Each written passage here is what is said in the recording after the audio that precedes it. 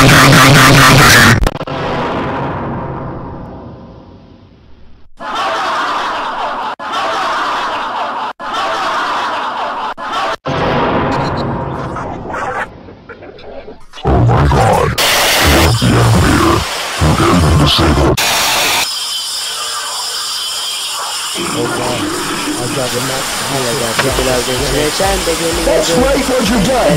You were suspended for 110 days. You kept on grabbing students and throwing them away non-stop. Go to the master's office now.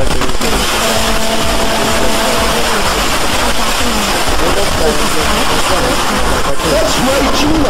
You were suspended for 120 days. You were so big on the Giants and you tried... So Harry the why are you?